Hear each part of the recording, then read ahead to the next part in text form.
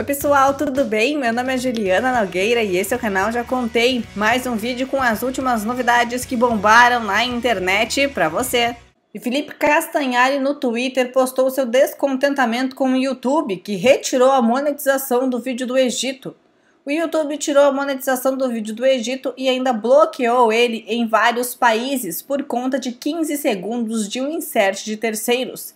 A gente gastou seis meses para produzir esse vídeo, justamente para ter o máximo de possível de conteúdo original. Mas de nada adiantou. Estou deletando. Vamos retirar esse pequeno trecho que deu problema e no mais tardar, até sábado, dia 15 do 12, postamos o vídeo do Egito novamente. Obviamente, estou muito frustrado, mas né, já me acostumei. O YouTube sempre deixou claro que eu não posso monetizar meus vídeos de história. Segue o jogo. Raiza Nicásio postou no Instagram um vídeo fazendo divulgação da sua cocriação com seda, mas nos comentários teve muita gente reclamando do produto, dizendo que ressecou e detonou os seus cabelos. Mas é claro que tiveram algumas seguidoras que adoraram o cheiro do produto e que gostariam de um pote de 1 kg de tanto que gostaram. Você já usou? Me conta aqui nos comentários o que, que achou.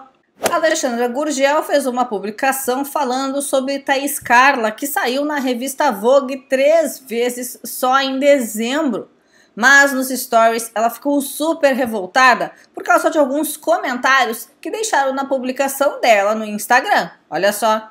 Aqui criando roteiro, eu tô aqui maquiada para gravar vídeo, mas assim, sério, eu tô vendo o comentário que vocês fizeram ontem no meu post sobre a Thaís Carla. E assim, muita gente escrota pra cara. Vai se fuder, sério, que raiva. E não conseguem entender é, o corpo da Thaís Carla não consegue entender que ela pode ser do jeito que ela quiser ser, que já acha que é apologia alguma coisa, apologia à obesidade, apologia ao cara 4, entendeu? Dá muita raiva isso. Se apenas o fato da pessoa, Thaís Carla, ser, existir no mundo, ela estivesse fazendo apologia a alguma coisa só por ela existir.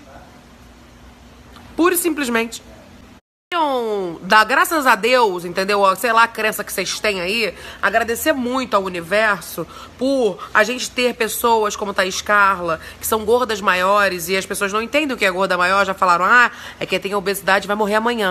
Meu amor, gorda maior é uma pessoa que não cabe na estrutura da sociedade mesmo. Porque a sociedade ela só foi feita para pessoas que vistam no máximo 54, que tenham no máximo 135 centímetros de quadril. E você não precisa ter obesidade mórbida para isso. Outra, não estamos falando de saúde, não estamos falando de alimentação, não estamos falando de exame, de IMC, de porra nenhuma. A gente está falando de vida, entendeu? De viver, de liberdade, da pessoa existir, da pessoa estar ali e viver a sua vida sem se machucar.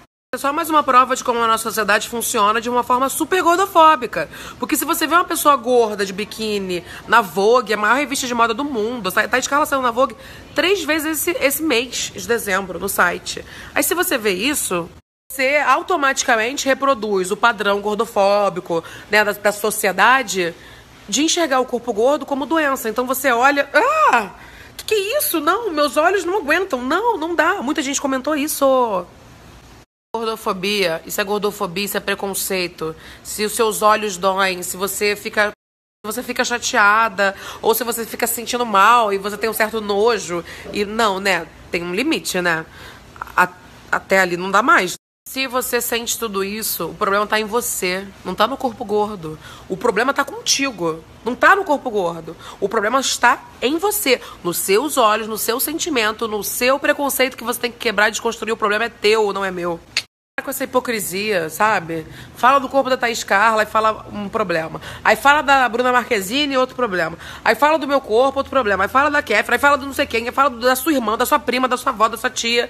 Para de falar do corpo dos outros, começa a olhar pra tua cara. Não é isso, eu acho que é uma questão de você pensar e entender que as pessoas existem, que elas estão aí, que elas vão continuar existindo e que, graças a todo esse movimento que a gente está fazendo, só vai crescer isso. Então, tem que aturar ou surtar mesmo.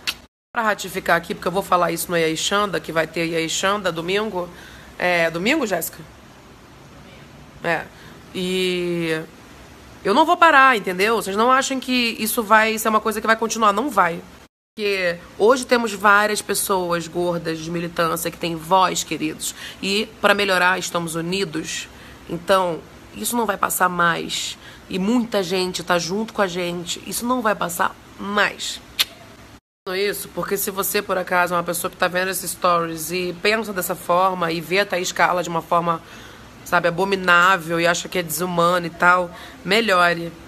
Melhore. Quem tem que melhorar é você, não é ela que tem que emagrecer, tá bom? Duda Nagli postou uma foto em família, ao lado de Sabrina Sato e a pequena Zoe. Acontece que Hugo Gloss repostou essa foto e uma internauta chamou a atenção para a roupinha da criança e disse o seguinte: Enquanto isso, Zoe derrete nessa roupa de tricô nesse calor. Gente, coitada, tá muito calor em São Paulo. E não é que Sabrina Sato respondeu? Tirei a roupa dela. Mãe de primeira viagem erra pelos excessos. Para quem não sabe, Gabi, que é noiva de Saulo Pôncio, já teve um relacionamento com Gui Araújo. Daí que essa semana ele fez esses stories e, é claro, rendeu polêmica. Tem nada, recém-reformado, mas agora tem eu aqui. Temos uma bela de uma piscina e espero que esse aqui não tenha que deixar para ninguém. Como vocês viram no final desse stories, ele diz: "E espero que esse aqui eu não tenha que deixar para ninguém". Muitos disseram que seria uma indireta para Gabi do apartamento que eles tinham juntos quando moravam. A mãe da Gabi comentou na postagem sobre esse assunto do Instagram Gossip do Dia, e lá ela deu outra versão dessa situação. Esse jovem senhor, com essa insinuação ridícula e leviana, de fato deixou mesmo muito desgosto e prejuízo, pois tem coisas dela que não foram devolvidas até hoje. Drone, tênis, óculos e até uma aliança que eu dei para ela, que ele vive ostentando no dedo. O apartamento foi alugado do padrasto dele em meu nome. Por que será? E todas, eu digo e repito, todas as despesas pagas por ela desde sempre, Cada móvel, cada garfo, absolutamente tudo comprado com o dinheiro dela. Ele nunca pagou nem a água da descarga.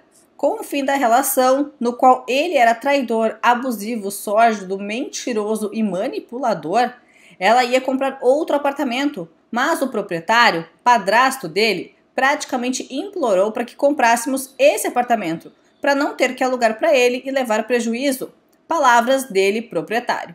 O preço foi bom e fechamos o negócio, e hoje ela é dona e proprietária do apartamento, da própria vida. Simples assim.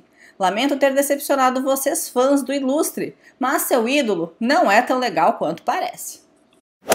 E não é que os internautas foram procurar o tal do anel mencionado pela mãe da Gabi? E não é que acharam? Em uma das fotos recentes de Gui Araújo, ele parece com um anel super semelhante ao anel que Gabi usava enquanto eles estavam juntos. E quem lembra quando eu noticiei sobre um possível affair entre Kéfera e Luan? Pois é, circulou uma foto dos dois nas redes sociais e muita gente achou que eles estão juntos. Mas outros internautas falaram que ele estaria namorando. Só que não, ele e a namorada já não estão mais juntos. E internautas especularam que o fim do relacionamento era por causa de traição. Daí, Gabi fez alguns stories falando sobre serem traídos e as especulações aumentaram ainda mais. Olha só. Você é corno, Luan! Porra! Tu é corno, Luan! Ah, Aí, motora, tu já foi corno também? Já, Todo mundo já foi, Luan, tá vendo? Tá tudo bem. O Saulo, coitado. Não sei como é que tá cabendo nesse carro. Eu também, se juntar eu e o Saulo, não sei como é que a gente se beija, que a galhada. E quem acompanhou o vídeo que eu postei hoje de manhã aqui no canal falando sobre uma empresária que fez alguns stories contando uma péssima experiência que teve com uma influenciadora digital? Pois é, Toda a internet dizia que era sobre Mayra Card, e não é que era mesmo. O portal do UOL TV e Famosos falou sobre o caso e ainda deu mais detalhes. Na reportagem que você encontra o link completo aqui na descrição, eles postaram as roupinhas que foram objeto da publicidade e ainda disseram: a UOL, a empresária que foi procurado pelo staff da Mayra Card em junho para divulgar as peças, admite se sentir prejudicada pelo descumprimento do acordo e exige o ressarcimento do valor investido. Além das quatro peças que custaram R$ 3.200, Karima pagou mil reais de cachê para a influenciadora. Eu me senti prejudicada financeiramente porque paguei pelas roupas. Minha marca é nova, tem menos de um ano e não tinha esse dinheiro para gastar à toa. Não obtive retorno nenhum porque ela não postou. Procurada pela reportagem, a assessoria de Mayra Card prometeu entrar em contato com a empresária nesta sexta. A staff da Life Coach prometeu reembolsar o valor integral do acordado. E aí, curtiu as novidades? Não esqueça de deixar aqui nos comentários o que, que você achou. Compartilhe, assim todos os seus amigos ficam sabendo das novidades da internet. Eu vejo vocês a qualquer momento aqui no Já Contei, então ative as notificações.